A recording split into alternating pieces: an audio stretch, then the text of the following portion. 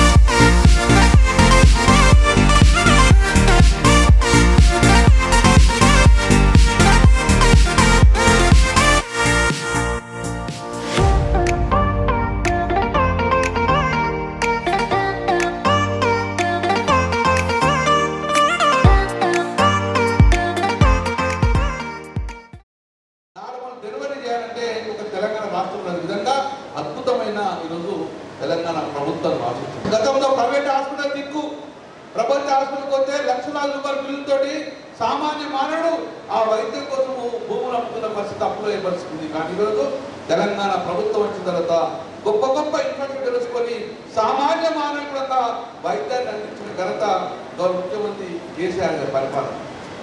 ఈరోజు ఒక గొప్ప పథకం మా చేతుల మీద ఇప్పుడే కలెక్టర్ గారు మేము మేయర్ గారు ఇప్పుడు అందరం పోయి ఒక గొప్ప పథకాన్ని నాకు ఈరోజు లాంచ్ చేసుకుని వచ్చాం ఒకటి కాదు రెండు కాదు వైద్యంలో సమూలమైన మార్పులు తీసుకొచ్చారు.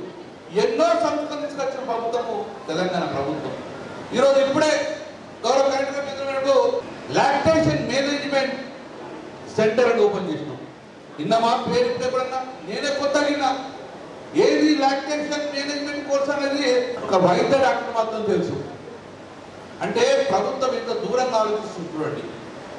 తల్లి బిడ్డ తల్లి పాలు ముర్రు పాలు బిడ్డకు శ్రేష్టం కాబట్టి తల్లి పాలు అందివ్వాలంటే నూటికి తొంభై శాతం ఆ తల్లు తన పాలు బిడ్డకు అందిస్తుంది.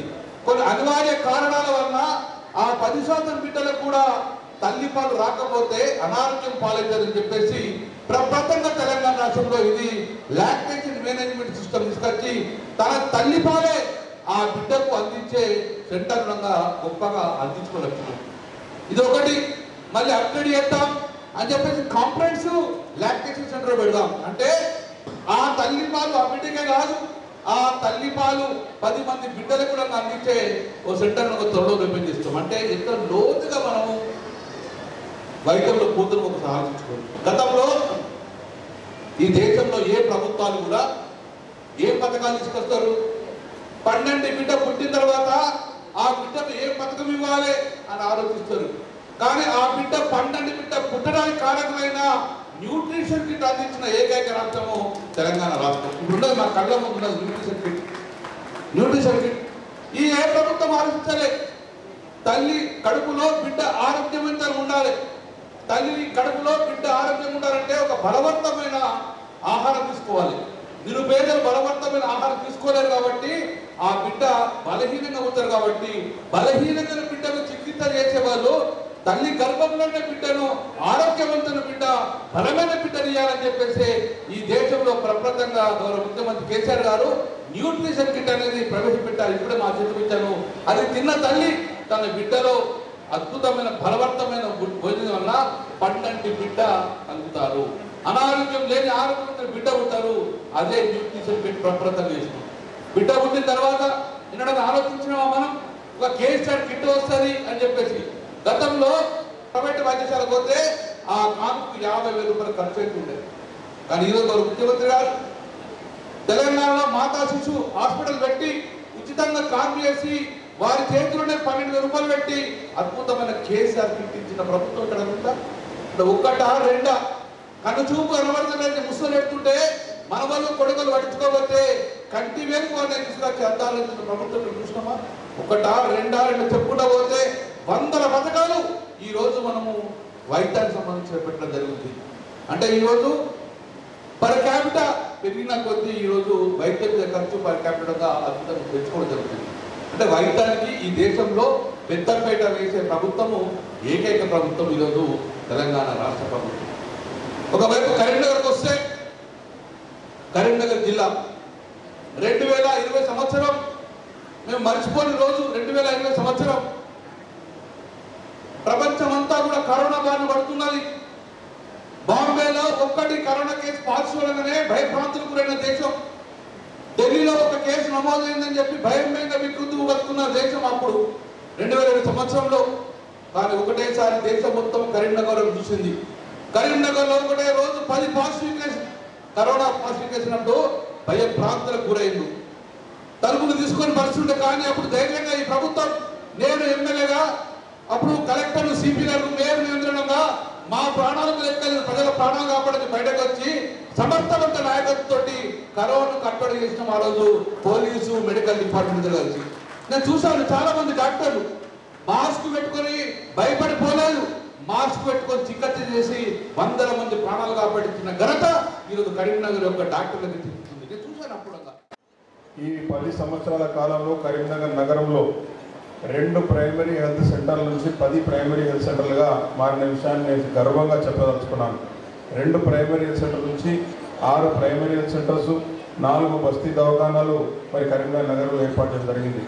అంతేకాకుండా మాతా శిశు హాస్పిటల్ బ్రహ్మాండంగా మాతా శిశు హాస్పిటల్ ఏర్పాటు చేయడం కానీ అనేక రకాలుగా ప్రభుత్వ హాస్పిటల్ను మరి అభివృద్ధి చేయడం కానీ అంతేకాకుండా కరీంనగర్ నగరానికి సంబంధించి మరి గొప్పగా అనేక కార్యక్రమాలు వైద్య రంగంలో కంటి వెలుగు శిబిరాలు కానివ్వండి మరి ఇతర శిబిరాలు కానివ్వండి చాలా గొప్పగా చేసి ప్రజలకు వైద్య సిబ్బంది చాలా గొప్పగా సేవలు అందిస్తున్నారు. దీనికి గర్వంగా కూడా మీ అందరికీ కూడా హృదయపూర్వకంగా కూడా అభినందనలు తెలియజేస్తా ఉన్నాను.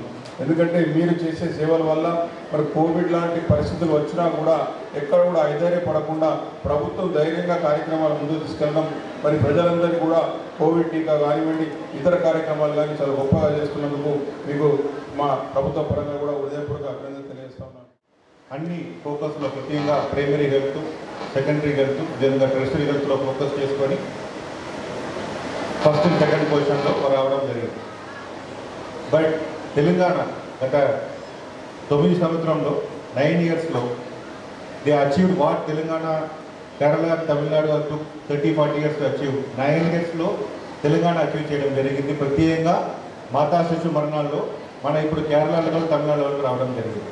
ప్రత్యేక కారణం ప్రతి ఒక్క ఆశా వర్కరు అదేవిధంగా ANM worker doctors DMH hospital superintendent అందరూ ప్రతిగా కృషి చేసి పనిచేసిన వల్లనే ఎంఎంఆర్ అండ్ ఐఎంఆర్ పూర్తి మనకి తగ్గడం జరిగింది. దానికి కూడా ప్రత్యేకంగా గవర్నమెంట్ అన్ని హాస్పిటల్లో పిహెచ్లో ఫెసిలిటీస్ ఏర్పాటు చేయడం.